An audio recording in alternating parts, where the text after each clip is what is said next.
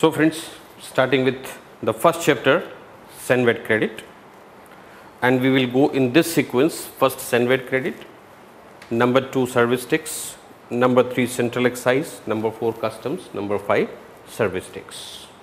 Okay, the book is also in the same order. So we are going exactly as per the book.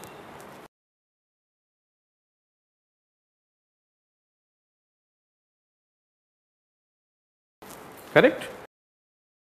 Come to page number 3 chapter number 1 page number 3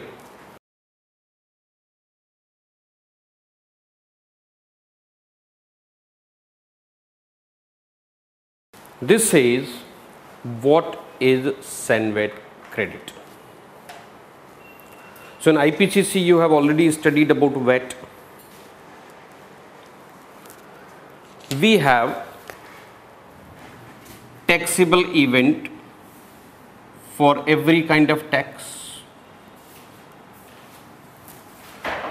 You have studied about income tax. You have also read about VAT, right?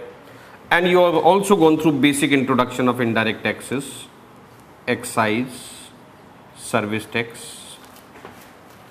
So for every tax there is a taxable event. What is the meaning of taxable event? The tax liability accrues when the event happens.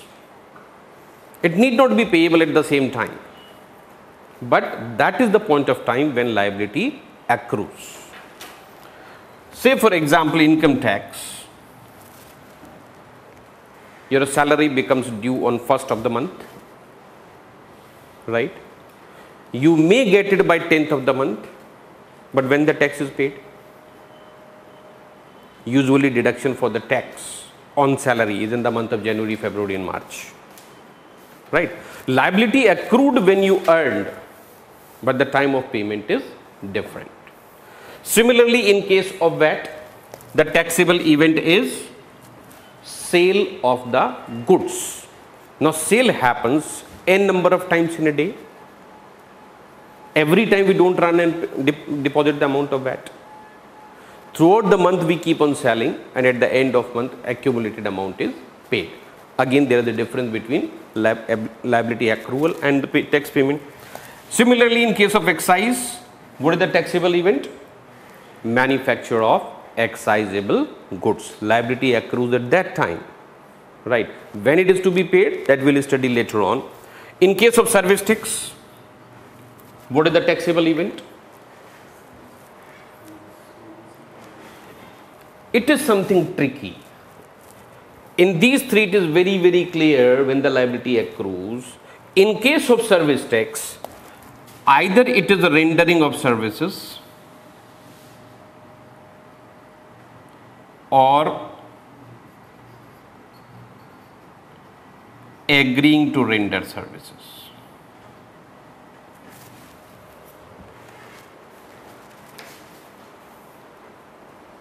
I hope you are aware of that in case of service tax even when advance payment is received service tax becomes payable.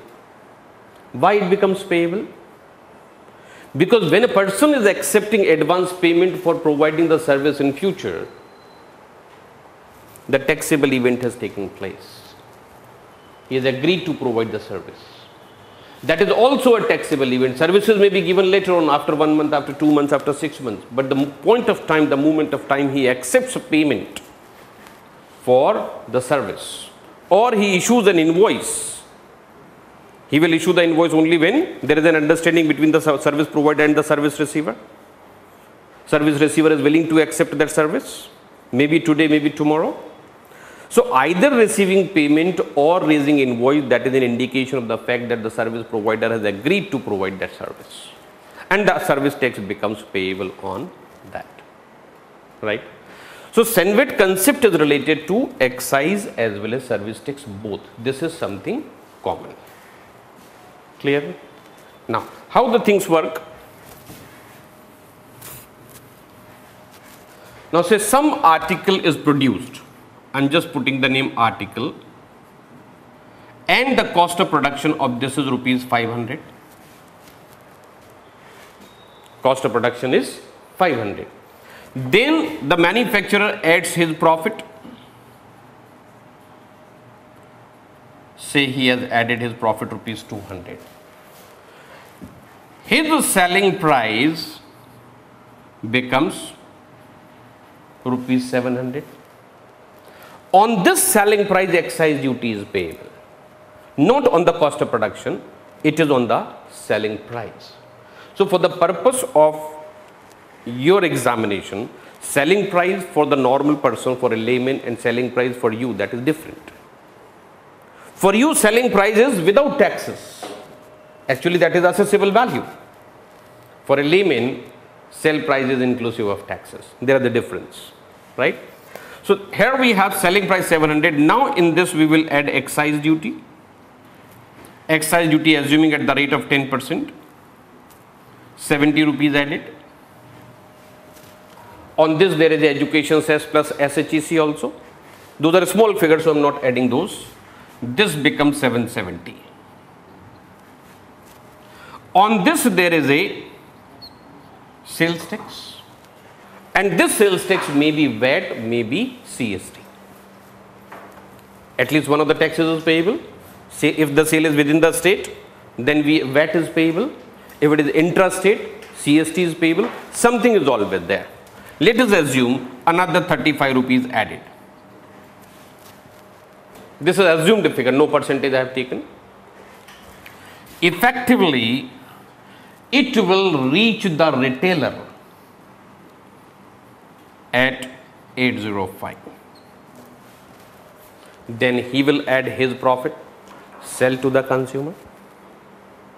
Right? Now, this article can be anything.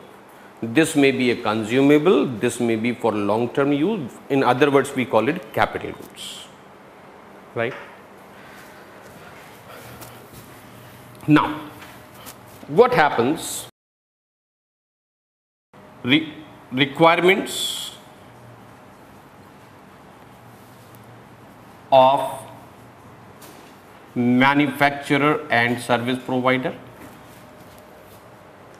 what he needs for carrying out manufacture, what he needs to carry on business, what a person needs to provide services. These are same. There is no change in that between the two. What is needed? Number one, capital goods.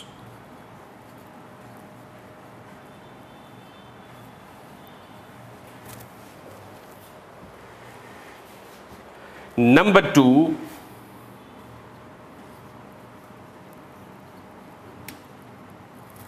there are inputs. Number three,